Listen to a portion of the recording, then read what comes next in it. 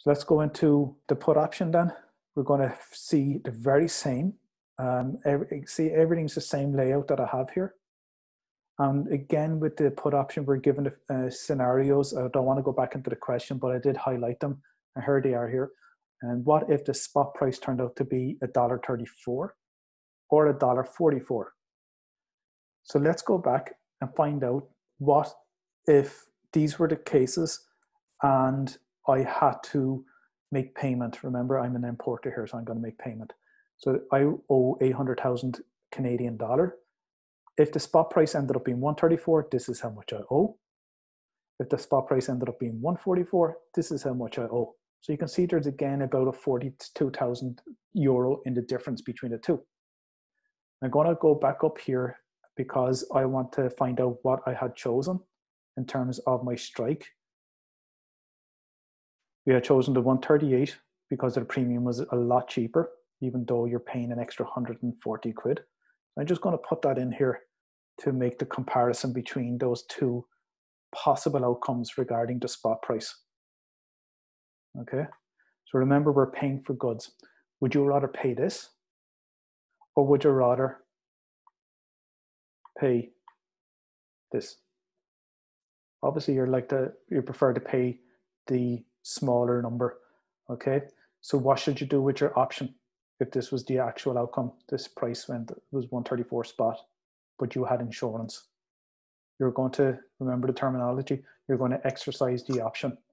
Okay, so at 134 spot, you will exercise the option because you don't want to pay this. You prefer to pay this. Okay. And the other scenario is what if the spot price ended up being 144? Adding on your premium, at that spot price, you will either pay the 563 or the 587. And again, it comes down to what would you prefer to pay? You prefer to obviously pay the lower amount as the importer, 563. So what are you going to do? You abandon your option and let the seller keep the premium. The reason why again we're adding the premium here is because we're an importer, we're paying for the goods and we're paying for the, the premium for the option. So that's what we have in here. The note, I just explained it.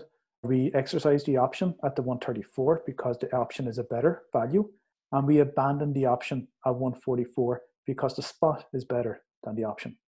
Okay, and we're going to illustrate that with a diagram. This is what the put looks like. So if you're unsure how to illustrate it, just do this. Okay, again in, in the middle, I put in what my strike was. Remember, I chose the 138 strike, so that's in there.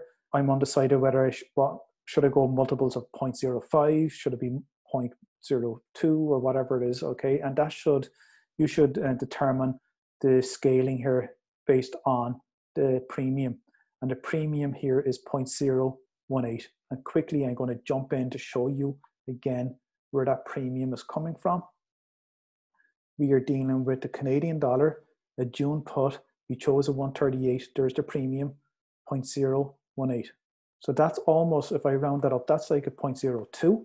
And that's why I decided to go up with multiples of 0.02. Uh, the earlier one was like a 5, and that's why I decided to go up multiples of 5 for the Hungarian forint.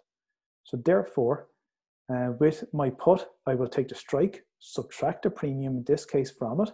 There's my break even, so 1.38 minus 0, uh, 0.018 will give me fairly close to this number here.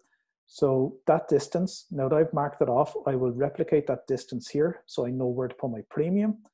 And I will draw a straight line from that strike 138 across.